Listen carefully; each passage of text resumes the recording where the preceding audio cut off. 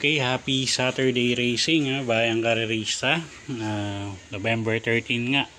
Uh, 2021, weekend racing tayo no, Saturday. Uh, at yung karera natin ngayon Sabado sa San Lazaro Leisure Park. Pero bukas no sa linggo, uh, ano tayo? Uh, Santa Ana Park uh, Saddles and Club. So, ngayon araw nga ng Sabado, meron tayong walong karera no. At start time 5:30, race 1. So 5.30 ng hapon. Simulan na natin yung giya natin para sa araw ng Sabado. Okay, race 1. 3-year-old uh, and above maiden race. Distansya 1400 meters. Uh, start ng peak 6, no? Uh, first choice natin dito, numero 4 na si Signature Whiskey. Uh, OP Cortez. Yonil Cortez yung papatong, no? Uh, ito, tumitimbang na yung mga last try niya. Uh, tingin ko malaki yung chance ng um, malaking chance ang manalo ngayon. No? Second choice, numero 7, kasi guwapo. Sasakay naman ni uh, Jan Alvin Guse. So, dito sa race 1, 4-7. First choice nga natin, numero 4, Signature Whiskey. At second choice, numero 7, kasi guwapo. Okay, next race tayo, race number 2. Uh, isa sa uh, magugulong karera, no? uh, ngayon araw ng Sabado. Actually, marami-raming magulong karera ngayon. So, dito race 2, first choice natin, numero 4, Bahandi, no? Uh, sasakay ni Epes Parlocha. Ito, tingin ko, ginagamayan lang ng hinete. Uh, once na maganda itakbo ni Kabayo, maganda yung malaking chance ang manalo. No? Second choice natin, numero 9, couple entry na run and gun, tsaka si Batan Island. So, medyo nabababaan ako sa uh, laban ni Run and Gun ngayon, no? So, uh, baka makachamba to. So, sila yung second choice natin. Third choice, numero 1, under pressure. Kay R. Villegas yung papatong. So, dito sa race 2, uh, 491, first choice nga numero 4, Bahandi. Second choice, couple entry numero 9, Run and Gun at si Batan Island. Uh, third choice, numero 1, under pressure. Okay, race 3 tayo. Class 4, 22 to 27 bracket, 1400 meters. Start ng pick 6. First choice numero 5, Amelia. Si Espare Jr. yung gagabay, no? So, tingin ko kayang mauna ni Amelia ngayon, no? Ma-rate lang ng maayos ni uh, uh, si Espare Jr. to. Medyo uh, may kalalagyan sila dito.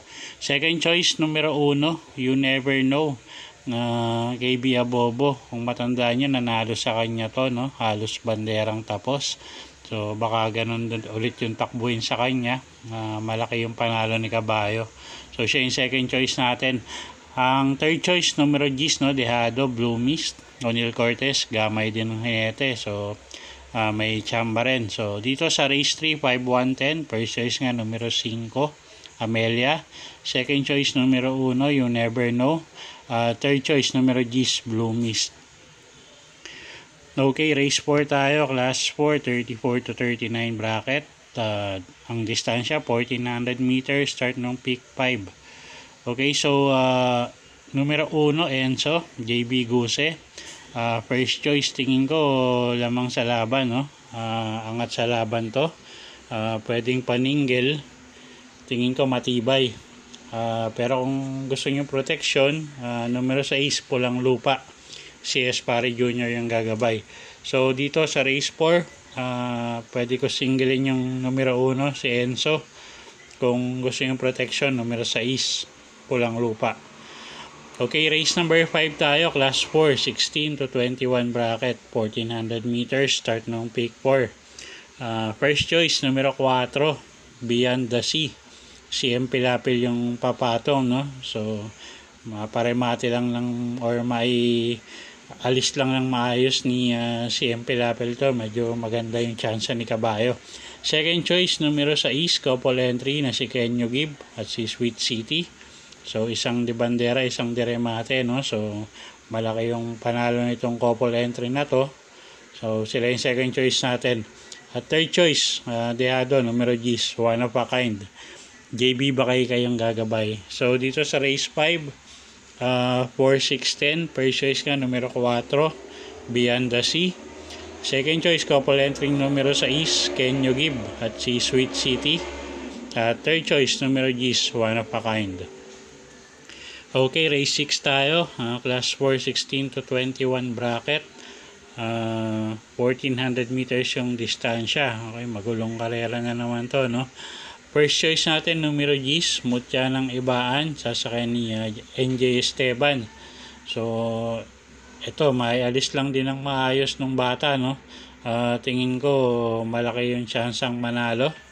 Ang second choice natin, yung couple entry na numero 2, na si Maki Boy at si Barayong uh, parehas de remate no sasakay ni uh, IL Aguila at ni LC Lunar uh, respectively ang third choice natin yung numero 3 ang tingin kong magdadala ng bandera dito yung numero 3 nga na si Rancheros sasakay naman ni uh, Lester F. De Jesus. So dito sa race number 6, first choice numero 10, Mutya ng Ibaan. Second choice, couple-entering numero 2, Maki Boy at Barayong. Uh, third choice, numero 3, Rancheros. Okay, race 7 tayo. Condition race 10, merge. 1400 meters yung distansya. Okay, isa pang angat sa grupo, no? Uh, numero 5, best regards. Tingin ko kaya niya naman niya yung laban ngayon. Uh, JB Guse yung papatong, no? So, nagbabalik si JB Guse. Uh, si Enzo, siya rin ang patong kanina. So, ngayon, tingin ko kaya naman niya yung laban ngayon. Pero kung gusto niyo rin protection, no? yung numero 3 na rin tingin ko, yung The Accountant, sasakay ni Patty Dilema. So, dito numero 7, uh, race number 7, sorry. Ang first choice, numero 5, uh, best regards, uh, pwede ng paningil. Kung gusto niyo protection, numero 3, The Accountant. Okay, last race tayo, race number 8, class 4, 16 to 21 bracket, 1400 meters yung distansya. Okay, uh, dito literal, no, halos lahat ng entries may panalo. Uh, kuha tayo ng tatlo, first choice numero 8, na si Anika Swill, si Espari yung papatong, no. Ang second choice numero 4, na si Chef Cat, Jan Alvin Guse yung gagabay ngayon. At third choice, uh, numero 7 Here I Am JD Flores yung sakay no? So dito sa race number 8 uh, 847 first choice nga numero 8 Anika Swill. Ang second choice natin numero 4 Chef Cat uh, third choice numero 7 Here I Am so dagdag kayo yan kung may kursonada pa kayong iba medyo uh, magulong karera nga yan no? anybody's race So, yun po yung mga giya natin para sa araw ng Sabado. Sana po yung makatulong sa inyo. Uh, inulit ko po, ito po yung mga giya lamang. Kayo pa rin masusunod kung sa inyo itataya yung pinagpaguran yung pera. Good luck po.